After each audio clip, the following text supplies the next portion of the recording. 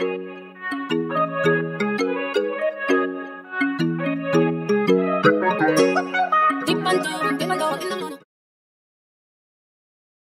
everyone, it's Fine Girl Dime, and today we are going to talk about Gena Tew. She's an Instagram model and she's been linked to Nick Cannon and Chris Brown. But before we get into this podcast, I need you guys to like this video and be sure to comment. I want to hear from you and make sure you subscribe, okay? So you can join the rest of the Fine Girl gang. In social media and in television shows, we constantly see people glorifying hookup culture just, you know, just aimlessly hooking up with other people. And everything is so accessible. You can just find someone with just a swipe. And then you have others who down people for being more conservative with their bodies and to each their own because it's their bodies. Now, what's important is that you get tested regardless, whether you pop a pimp or if that's not your style, you still should get tested.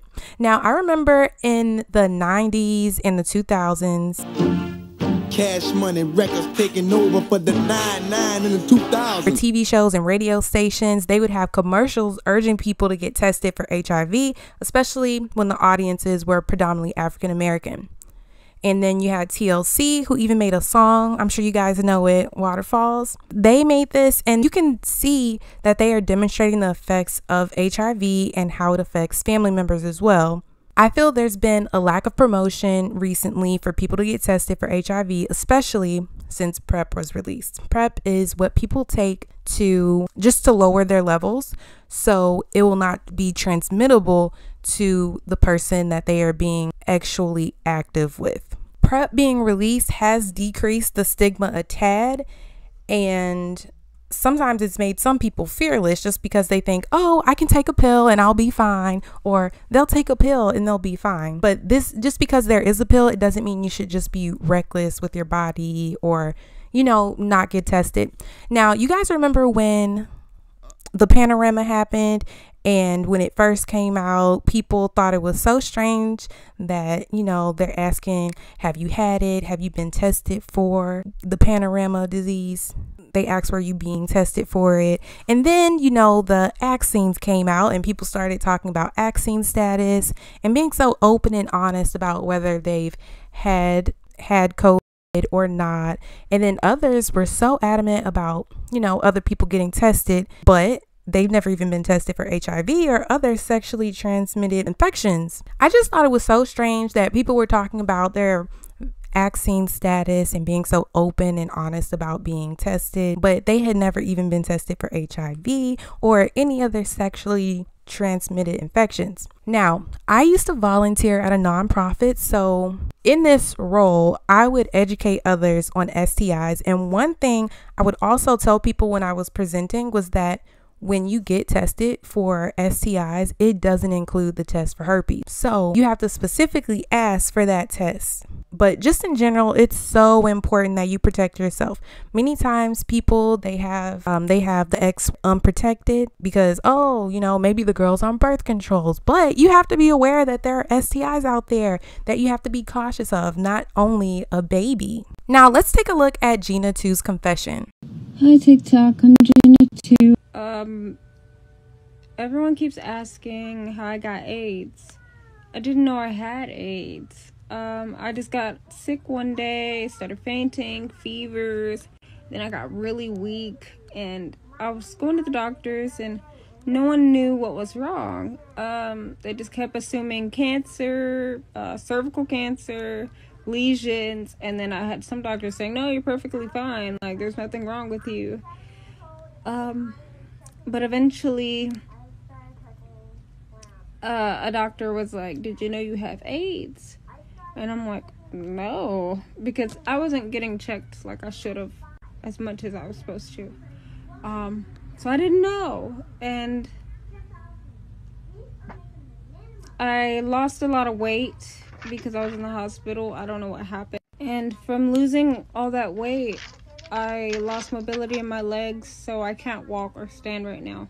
But I do do my therapy every day, and I do take my pills every day like I'm supposed to. I take five pills a day. No, I don't know who gave it to me. So, you know, I just found out recently I didn't have You know, they said if I didn't show up when I did, I would have died because my blood count was so low. You know, I was needing blood bags. They was taking bone samples. They were doing a lot because I was so weak. Still so weak. And I think I have wasting syndrome. I'm not anorexic on purpose. um, but yeah, I hope that answered a bunch of you guys' questions.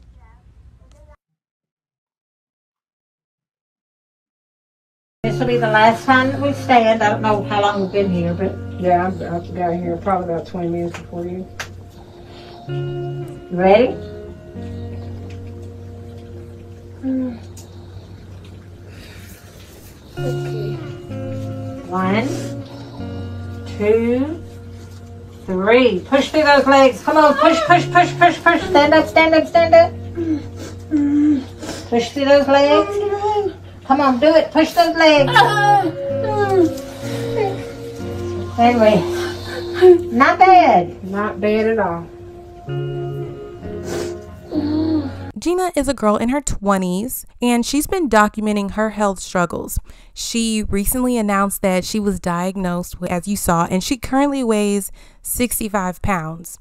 And for my UK subscribers, that's 29.5 kilograms. So, Gena, she cited all the possibilities of how she could have gotten AIDS that came to her mind at that point. And she mentioned a tattoo needle and she was getting free tattoos and she thinks maybe the tattoo needle may have been dirty. If she had went to a reputable tattoo shop then you know the needles would have been clean. And then she mentioned you know of course the possibility of catching it from the person and she doesn't know who she would have gotten it from if she did get it from a person.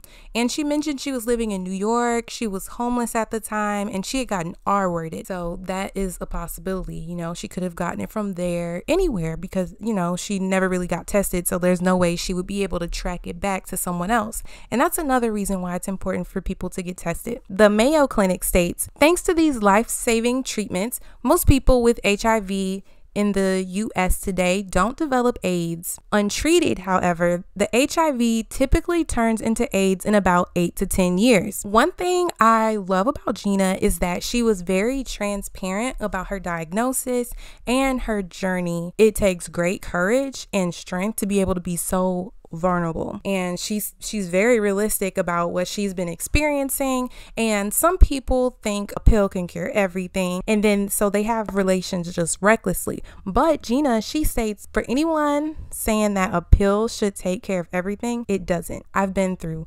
hell and I'm still going through hell. So that is something that I just want to know. Another thing that I noticed that she said is that some doctors said that she was perfectly fine. Now, the reason I want to stress this is because there are so many instances where this happens, and this happens particularly if you're a black woman. Now, I am not saying that Gena Tew is black. We all can see that she is racially ambiguous, but I know that I have some subscribers that are that are black women. So, what I do want to say is it's imperative that you always get a second opinion, and I will share more information on that when I tell a specific story time that comes to mind. Whatever you're getting done medically, I think it's always always important for people in general to get a second opinion, but specifically if you are a black woman, I think you should always get a second opinion because, like Gena said, if she had not gone to the doctor at that time, she could have not been with us anymore, especially if she had listened to that doctor that said she was perfectly fine. And it's also really important to listen to your body too. Gena, she knew she was not fine, so she continued to